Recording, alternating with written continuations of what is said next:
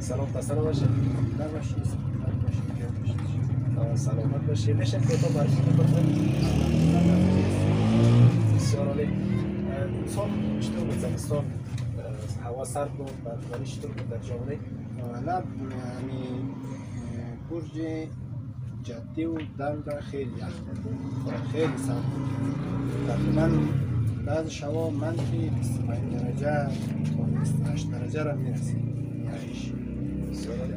خب چطور بود وضعیت دکانداری در زمستان؟ راه ها مسدود شده بود نه؟ زمستان خوب بود دیگه راه ها یک دو روز سه روز بسته مانده.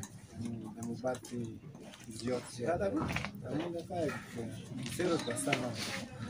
شما سبزی ها را چه رقم در زمستان چه رقم نگهداری می‌کنید با مشکل مواجه نشدید خب مشکلات خود یعنی سبزی ها را مو کسر بخاری روشن.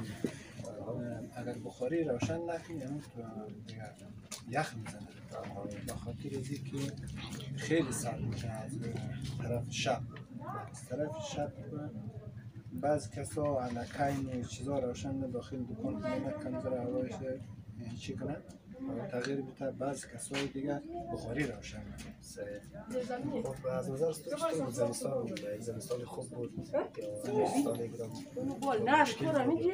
فوتبال بود. بودم فعلا هم هوا بسیار خوب شده تقریبا دیگه بهار شده هوا گرم اه، زمستان همو یک ماه خیلی سختی بود. مشکلات بودیم بودن سبزی ها را روزانه میوردیم اینجا باز شبانه باید اینا کلن جمع می‌کردیم بردیم داخل دکان.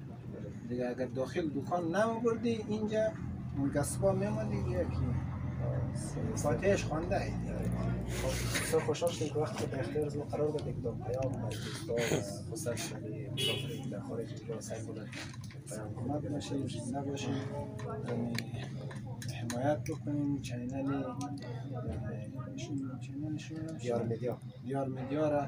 تشکر از زحمات شما کنیم کلید میگین خوب میشه با باهی تشکر سلامت.